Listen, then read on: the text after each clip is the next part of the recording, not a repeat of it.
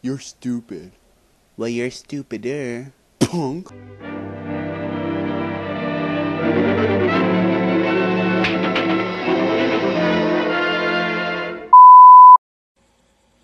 Chocolate rain.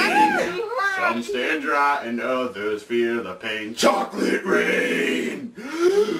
Baby boy. Wait, wait, hold that song. Ah, that was a grand song. So melody. You remember it. But now we're ready with the new and greater Mere melody. So new, in fact, that it's a year ahead. So off with the new, on with the old. You have it. Awesome. Everybody jump! Jump! Jump! Get off your seat! Jump! Hey, Lucky Star, they're at idol of the airways, that riotous rage of radio, jazz. That's so worse. That's so terrible. I want to puke in my hands and eat it. The best looking and most gifted of the new leading men.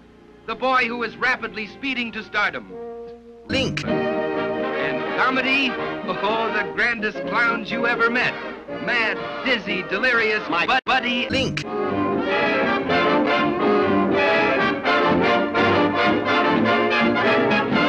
Trando. More Ugly. than ever. What is this song all about? Can't figure any lyrics out.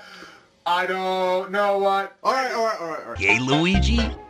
So, Francis.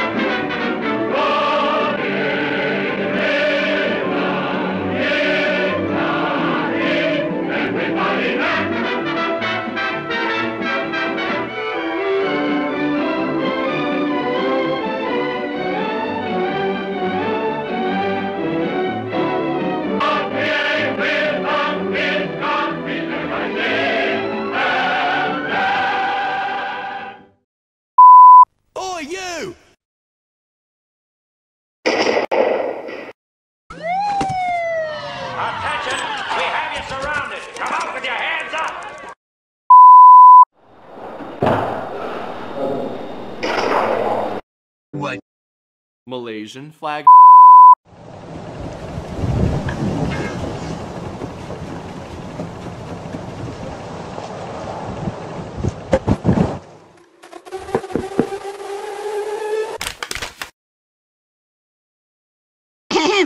Dear pesky plumbers, the Koopalings and I have taken over the Mushroom Kingdom. The princess is now a permanent guest at one of my seven Koopa hotels. I dare you to find her if you can.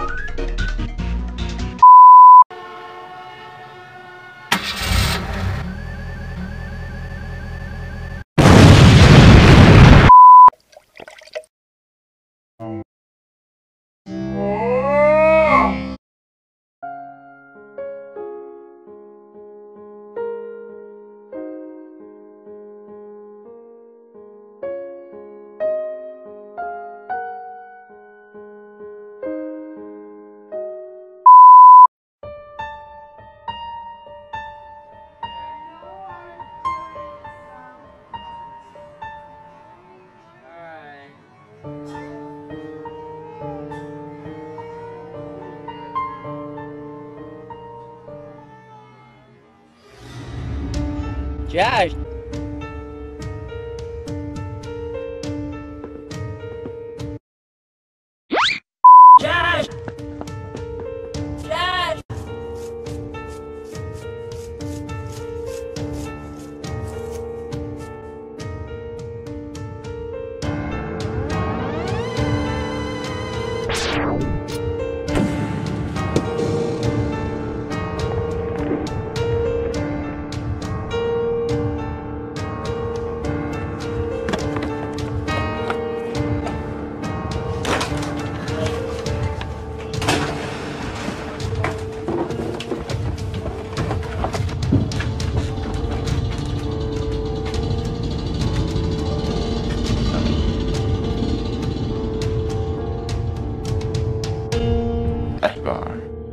Hideous imitation of the one true bar, Jesus' bar.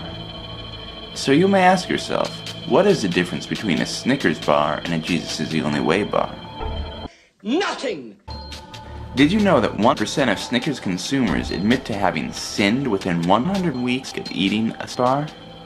But it gets worse. Nearly 1% of convicted criminals in the US admit to having at least once before consumed a product. So what does all this mean? Are these statistics merely coincidence, or do they all point to the one truth that most of us refuse to face? The truth that says that Satan's bars are in fact Snickers bars.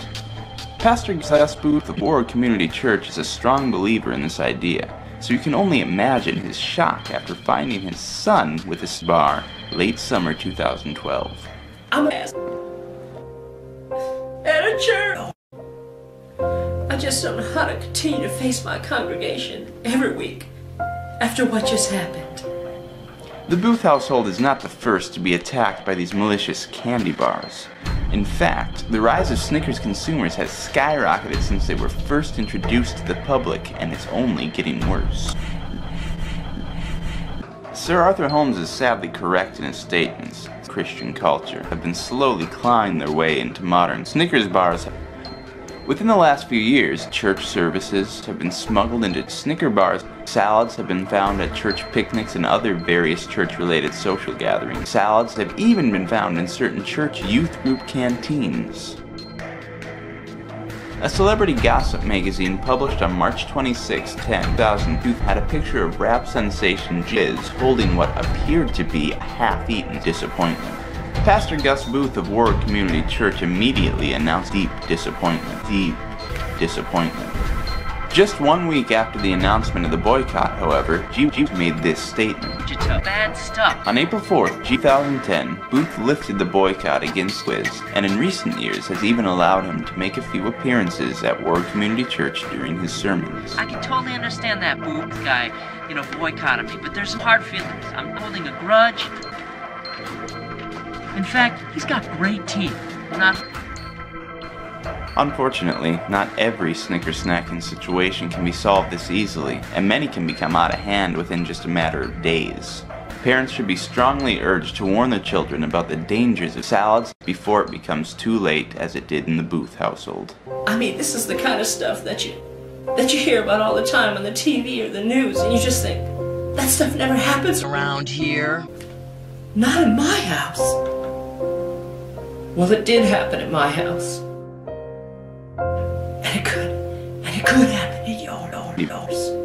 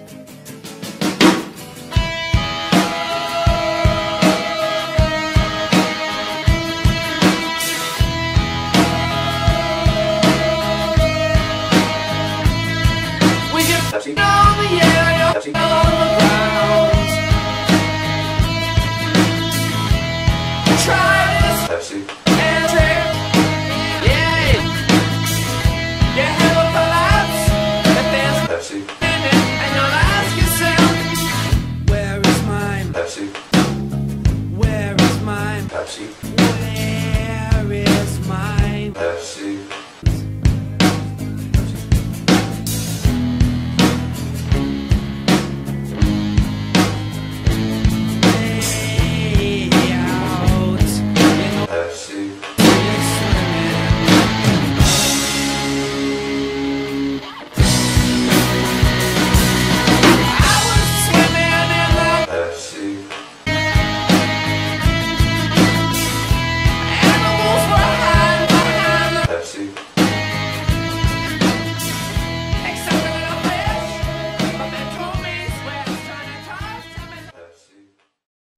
Pepsi's a little bit more syrupy.